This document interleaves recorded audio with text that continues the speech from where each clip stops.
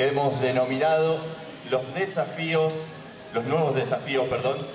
Vamos a dar inicio a esta jornada y queremos agradecer a todos los presentes, obviamente, a los que se han tomado el, el tiempo para asistir a esta jornada y vamos a saludar a las autoridades que nos acompañan. Al señor Ministro de Producción y Agroindustria, Carlos Banacloy. Al señor Secretario de Ganadería de la provincia de Río Negro, Tabaré Bassi. La Subsecretaria de Producción del Ministerio de Producción e Industria de Neuquén, Amalia Zapag. Al señor Intendente de Guardia Mitre, Ángel Cingoni.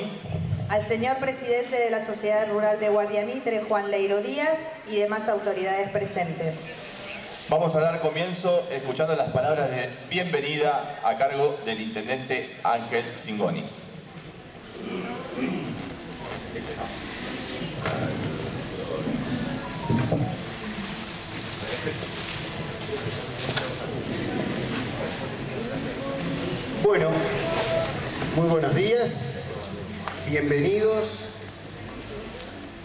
Sumamente agradecido por vuestra presencia.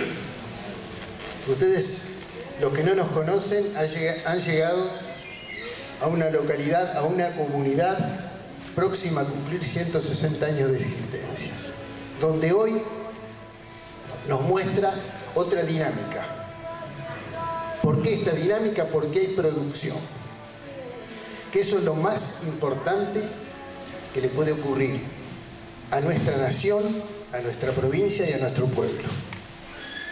No quiero extenderme más porque esta jornada van a hablar de ello. Así que este, bienvenidos, reitero la bienvenida y gracias por participar.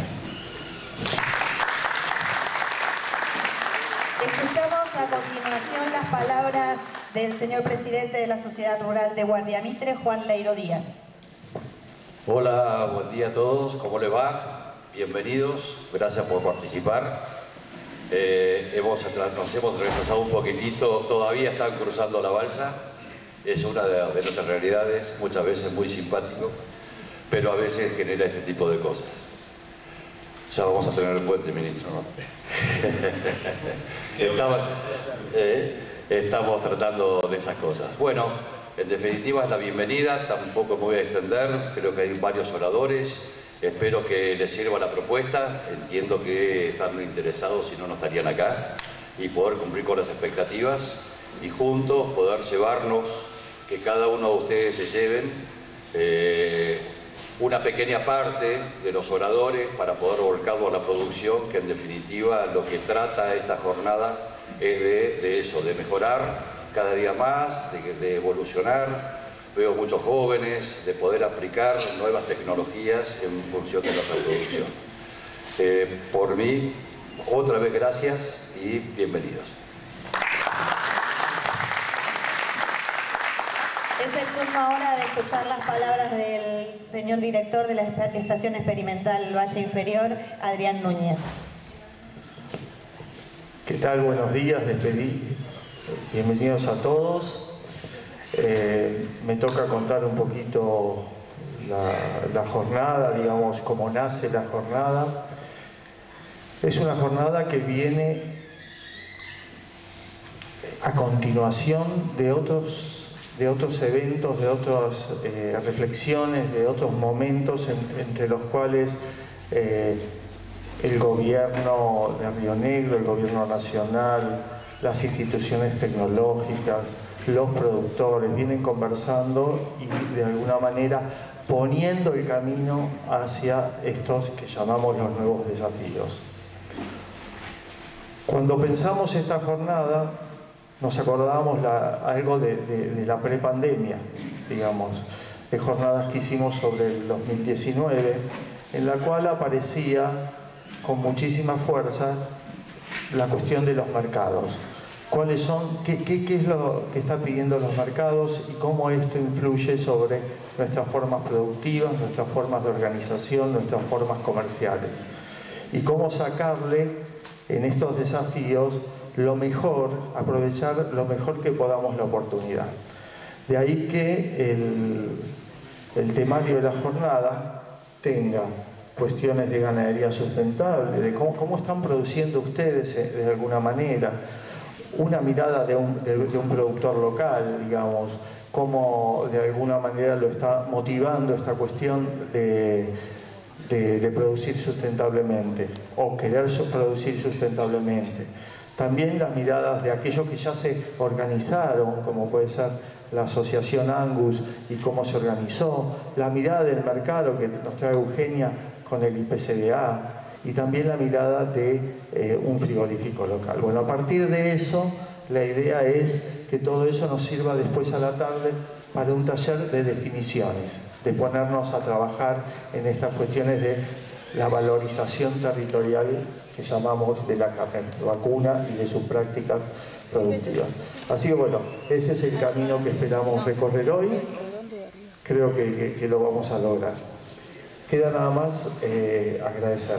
Quiero agradecer por, seguir haciendo en conjunto ¿no? al Ministerio de Producción y Agroindustria de la provincia, en cabeza de Leiro a todos los eh, productores y el trabajo que estamos haciendo con las sociedades rurales y la Federación de Sociedades Rurales de Río Negro. Creo que Baldomero está viniendo, me parece a mí, o así me, dijeron. Por supuesto que cuando agradezco en agroindustria pienso siempre en Tabaré, con lo cual hace dos, tres años, cuatro años venimos trabajando en conjunto. Al Cholito, decirle que, no sé si ustedes conocían antes Guardiamitre, pero el cambio que hay en estos últimos años y, la polenta que, viene, bueno, se nota en todos los lugares de, de. Gracias por, recibirnos.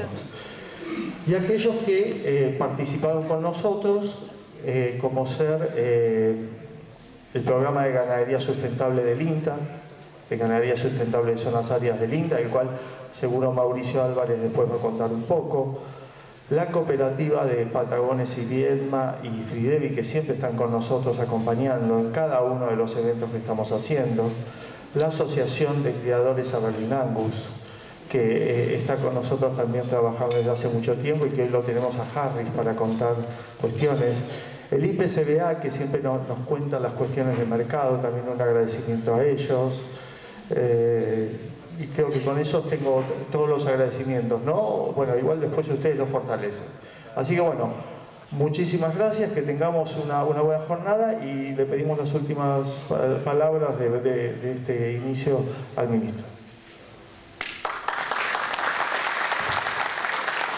Para finalizar este bloque de apertura vamos a escuchar al ministro de Producción y Agroindustria, Carlos Banacloy. Bueno, muy buenos días a todos. La verdad, un placer. Gracias, Intendente, por recibirme en su casa. Ya ayer, así que desde ayer que estamos en Guardiamite, tuve la posibilidad de venir ayer a la tarde, compartir también una reunión y gracias, Leiro, por abrirnos tu casa. Agradecer a todos los presentes, eh, principalmente fortalecer un poco el mensaje de Adrián de la interinstitucionalidad que tiene este evento y esto marca un poco también el ordenamiento que ya hoy tiene el sector y cómo el Estado de alguna manera tiene que ser articulador de las políticas públicas a partir de lo que desarrolla el sector privado. ¿no? Agradecer a la prensa que nos acompañe y que sin ellos es muy difícil difundir y que le llegue a otros sectores este mensaje que me parece que es superador. Cuando, cuando en un contexto como el actual de, Argentina, de nuestro país, con, muchos años de, de decadencia ininterrumpida, uno ve una convocatoria como esta cuando plantea nuevos desafíos realmente es muy alentador. Por momentos eh, se siente emocionante a la hora de que alguien, como en mi caso, soy un productor, que me empecé a vincular con el sector público muy de a poco y hoy me toca ocupar un cargo como, como ministro, ver todas estas caras, gente grande con mucha trayectoria, con mucha tradición, ver gente joven que se empieza a proponer este marco de nuevos desafíos en un contexto que no es amigable para nada. Eh, y esto realmente para mí es superador.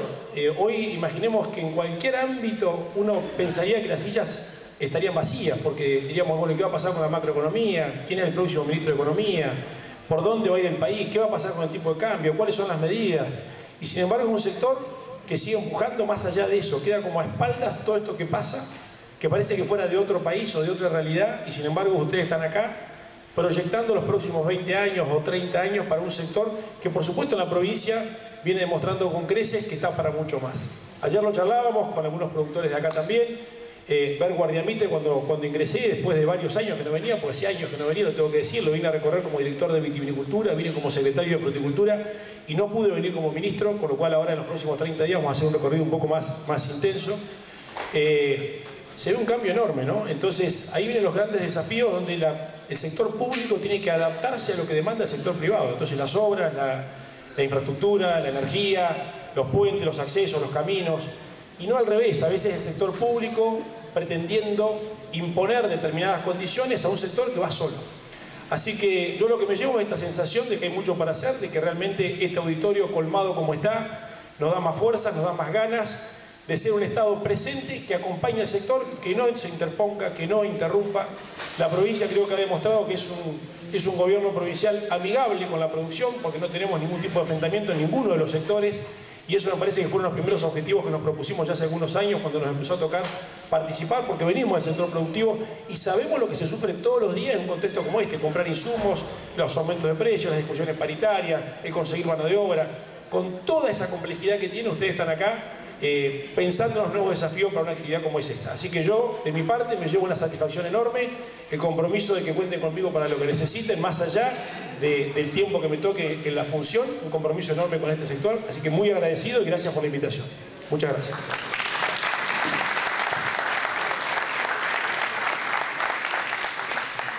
Agradecemos las palabras de bienvenida. Invitamos a la gente que ha llegado, que por ahí no tiene asiento. Acá adelante quedan algunas sillas que se pueden ocupar, así que los invitamos a que vayan pasando.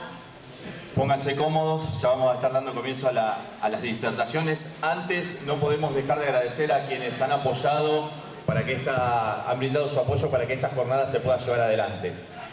Vamos a ir nombrando en el transcurso de la jornada a varios de ellos. Al Instituto de Promoción de la Carne Vacuna Argentina, a la Cooperativa de Patagones y Vietma, al frigorífico Fridevi, a la Municipalidad de Guardiamitre, al Ministerio de Producción y Agroindustria, al Clúster Ganadero Vacuno, al Programa Ganadero Vacuno, a la Sociedad Rural de Guardiamitre, a la Asociación Argentina de Angus, a la Federación de Sociedades Rurales a la estación experimental de INTA Valle Inferior y al proyecto macroregional de ganadería sustentable de zonas áridas.